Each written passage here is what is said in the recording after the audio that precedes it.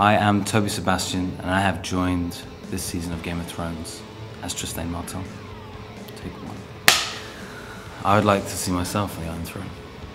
Well, actually, no. I'd like to see. Um, I'd like to see Tyrion on the Iron Throne.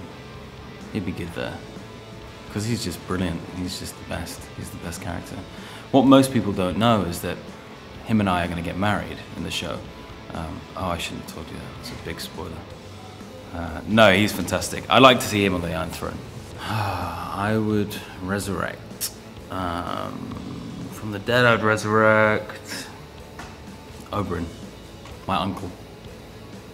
So he can fight the mountain again and beat him and stop shouting at him and stop prancing around. Just give him a. I think Tyrion has the best lines in the show. He does have the best lines. I think they're fantastic.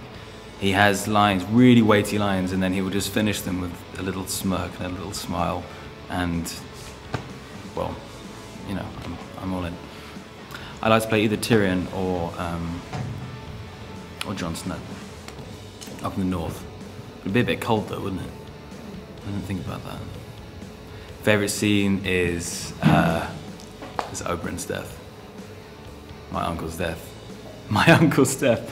Uh, I was I watched it with my friend and we spent about 20 minutes looking at each other with our jaws completely dropped um, after that happened. We actually stopped. We stopped it just as his eyes were kind of popped, and we could not believe what we had seen. That was um, that was mind breaking. That was crazy. Most um, Red Wedding.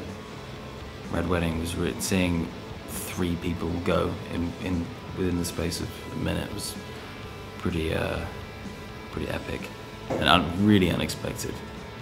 George R. Martin, wow, he knows how to he knows how to get us going. Um, Targaryen.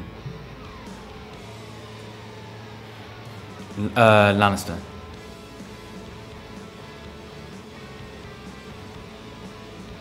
Daenerys. Damn Greyjoy, I don't know his sister. I don't know. I do not know that one. Um, is it uh, Jaime Lannister? What for that? Uh, was it Ned Stark? No, it wasn't, was it?